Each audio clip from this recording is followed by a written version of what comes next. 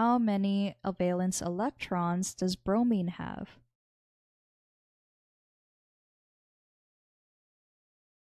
Okay, so let's pull up a periodic table.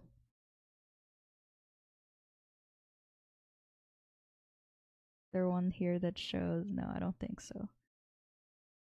And we can find out what group bromine is in.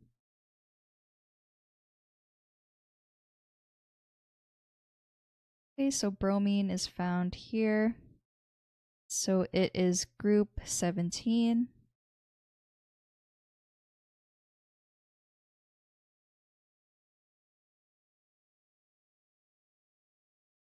Or also known as 7A.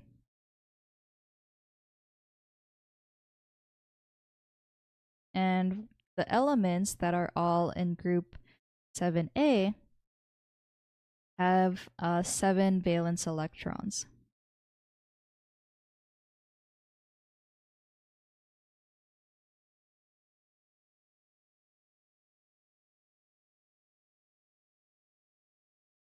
Okay, so the junior tutor said that the valence electrons are the electrons in the outermost shell of an atom.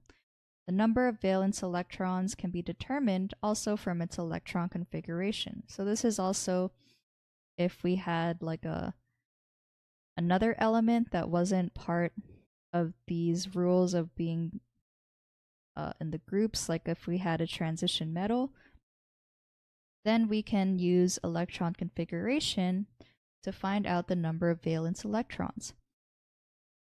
So the atomic number of bromine is 35, hence it has 35 protons and 35 electrons if it were neutral.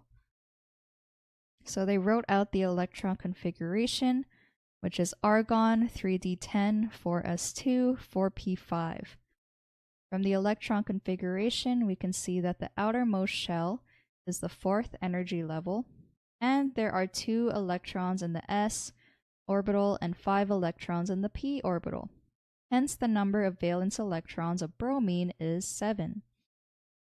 The number of valence electrons can also be determined by looking at the group to which the element belongs in the periodic table. So since bromine belongs to group 7a, we can tell that it has 7 valence electrons. Okay, so the solution is correct.